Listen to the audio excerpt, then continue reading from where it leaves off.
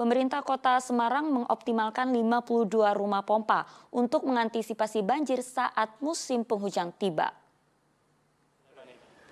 Dinas Pekerjaan Umum Kota Semarang terus mempersiapkan diri mengantisipasi banjir musim penghujan.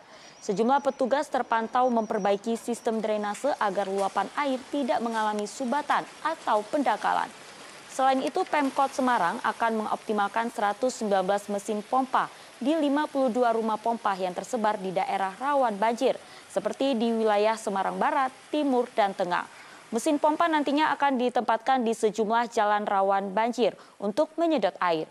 Semarang menjadi salah satu wilayah rentan banjir di Jawa Tengah, sehingga Pemkot sejak dini menyiapkan berbagai rencana antisipasi banjir. Untuk menghadapi musim penghujan tahun ini, kita sudah mengoptimalkan semua rumah-rumah pompa yang ada.